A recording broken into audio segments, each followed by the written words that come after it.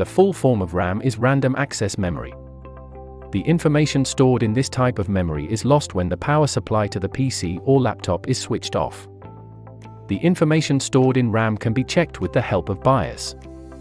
Basically, there are two types of RAM, but depending on the function, there are different important types of RAM, random access memory, which are given below in this video. Number 1. Static RAM. Static RAM is the full form of SRAM. In this type of RAM, data is stored using the state of a 6-transistor memory cell. Static RAM is mostly used as a cache memory for the processor, CPU. Number 2. Dynamic RAM. DRAM stands for Dynamic Random Access Memory. It is a type of RAM which allows you to store each bit of data in a separate capacitor within a specific integrated circuit. Dynamic RAM is a standard computer memory of many modern desktop computers.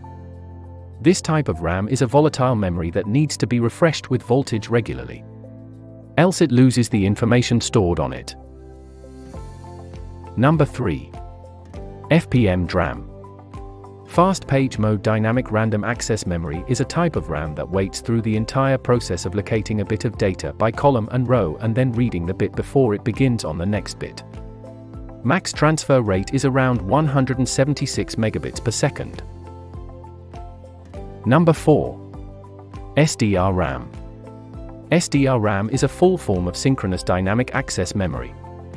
It has access times between 25 and 10 ns nanosecond, and they are in DIMM dual inline memory module modules of 168 contacts. They store data using capacitors using ICs, integrated circuits. On one of its sides, they have terminations, which can be inserted inside of the individual slots for the motherboard's memory. Number 5. ROAD RAM. Rambus Dynamic Random Access Memory is a full form of RDRAM. This type of RAM chips works in parallel, which allows you to achieve a data rate of 800 MHz or 1600 megabits per second.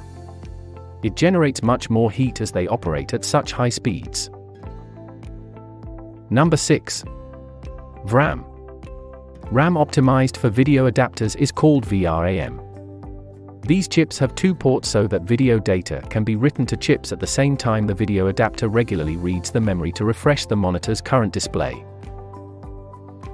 Number 7. EDO RAM. EDO DRAM is an abbreviation of Extended Data Output Random Access Memory. It doesn't wait for the completion of the processing of the first bit before continuing to the next one. As soon as the address of the first bit is located, EDO DRAM begins looking for the next bit. Number 8. DDR SDRAM. The full form of DDR SDRAM is Double Data Rate Synchronous Dynamic Random Access Memory. It is just like SDRAM. The only difference between the two is that it has a higher bandwidth, which offers greater speed. Its maximum transfer rate to L2 cache which is approximately 1064 megabits per second.